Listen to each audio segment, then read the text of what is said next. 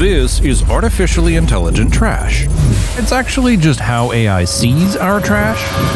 These folks are training neural networks to look through our garbage, which is a victimless hobby, I suppose. With effectively what is a garbage sensor, you can do all kinds of amazing things. What kind of amazing things? Well, combined with robots, this could have a huge impact on how we recycle. So, why would we do this? The scale of impact that the waste industry has is absolutely massive. The amount of waste we produce in the US is about five pounds per person per day. And if all of that ends up in a landfill, this is a significant problem. No one knows this better than Mac, Sweet Dee, and Dennis, three thought leaders from Philadelphia. It's a sad throwaway culture we're living in. That's true. We all know this is a problem, and almost no one does anything about it. What you find is over 90% of that material is recoverable in some form or another. I really believe we can keep everything out of the landfill. Everything can be recovered in some way. If we want to get a future without waste, we're going to need to get a lot of help from some trash sorting robots. Kind of like WALL-E. Uh, I haven't heard us compared to WALL-E, but that's maybe not too far off. this is Hard Reset, a series about rebuilding our world from trash, from scratch. Damn it.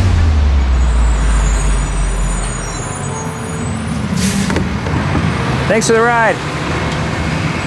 This is a recycling facility.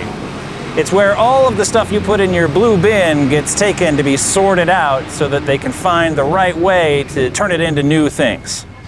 I think this truck's about to dump.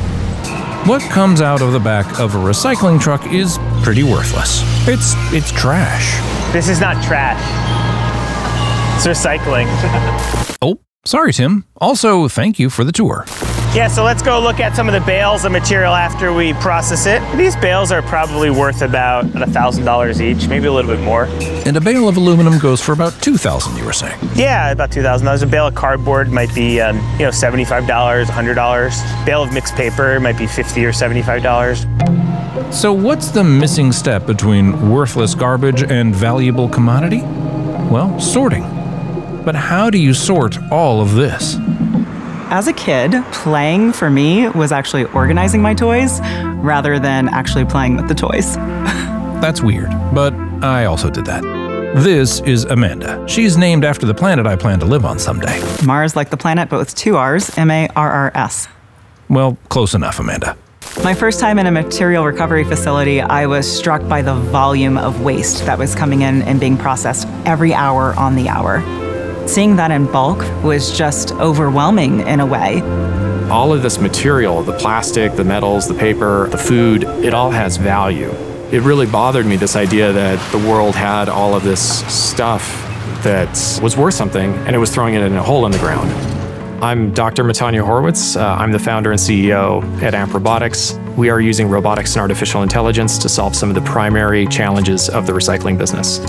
What we do with our AI and robotics is we're able to recognize material on a moving belt and then drive pick commands to go grab the most valuable commodities out of that waste stream. This is the meat and potatoes of, uh, of the robot. There's the robot itself. It's kind of an unusual style robot. It's called a Delta style robot. It's got these long, kind of skinny arms that go down to the um, what we call the gripper. Huh. Well, I think it's pretty clear where they got the design inspiration from.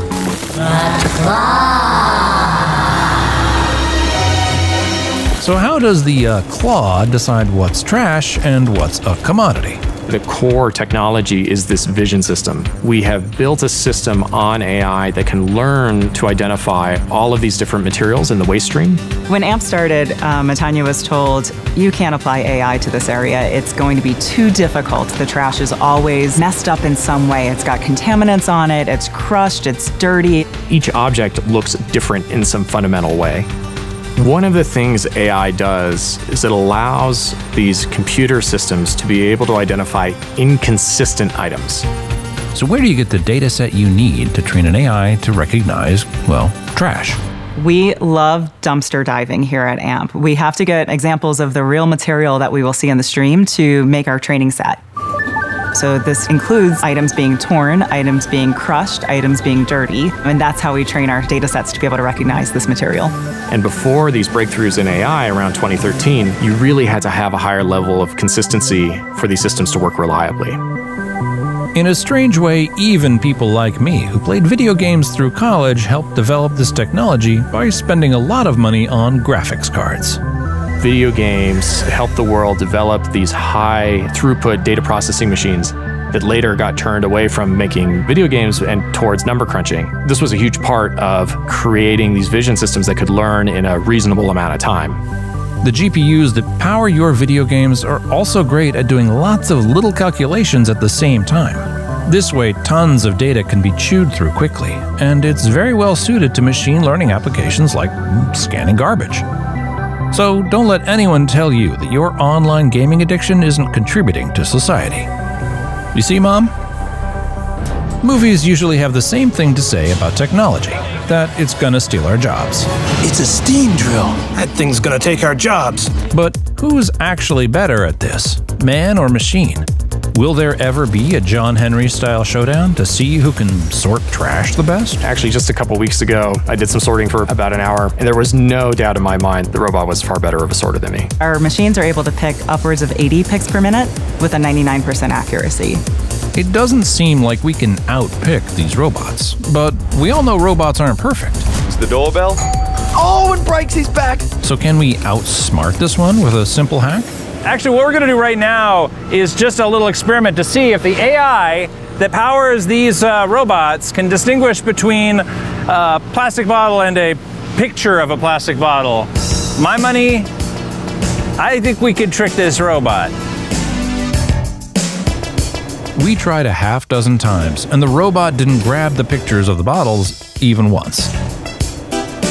So, I, for one, welcome our new robotic trash sorting overlords. Just let me know when they can fold laundry.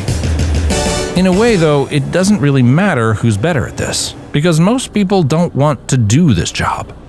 It's a very repetitive job, which can lead to, you know, injury for humans. It's a very dirty job. Because the job is unpleasant, because there are hazards in the material stream, so many of these facilities are being run understaffed. And what that means is that they're not extracting the full value out of the material, the material's not as pure as it could be. I really can't imagine why these places are understaffed. It's actually a lot of fun here, especially the paper section. Well, look who failed their math test. Also, Sharon, please shred your bank statements. Anyway, beyond just being better than us at sorting things, this technology allows for purer recycling. You can do things like say, oh, I know all of these yogurt containers are made with a, sh- a shared type of plastic and a shared type of dye. I'm going to separate out just those yogurt containers. And what it means is that you can have automated systems create precise chemistries in recycling. If you produce a high quality material stream of nothing but number one plastics, which are things like Gatorade bottles, Pepsi bottles, water bottles, they can be made back into these different types of drink bottles. So basically, instead of having to downgrade these plastics into lower quality products, you can keep them at the same level of quality. In other words, actually recycling instead of, you know, downcycling. In the near term, this technology can make it profitable to build recycling centers in isolated areas or developing nations. And that's where the greatest gains can be made in terms of protecting our environment. The developed world does have sophisticated waste management infrastructure. That's not true across the world. In many developing countries, there isn't the same kind of collection infrastructure, there's not the same kind of landfill infrastructure, and there's certainly not the same kind of recycling infrastructure.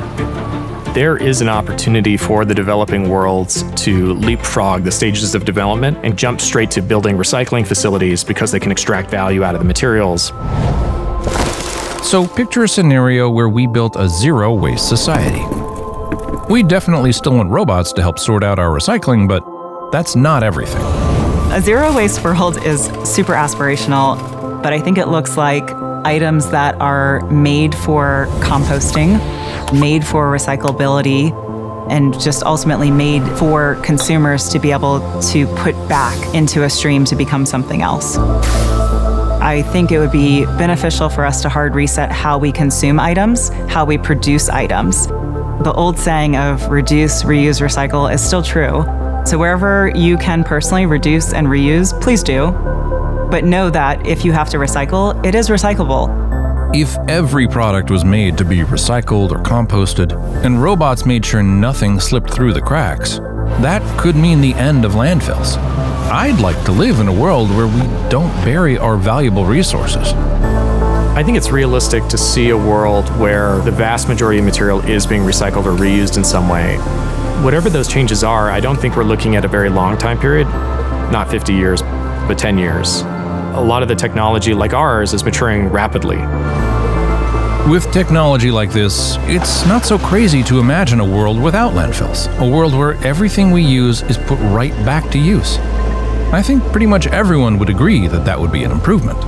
Well, except this guy. What do you think, Oscar?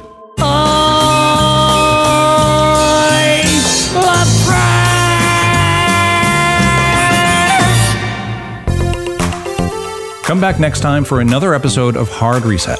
Subscribe to Freethink to watch our other original series and documentaries about technology and people that are changing our world.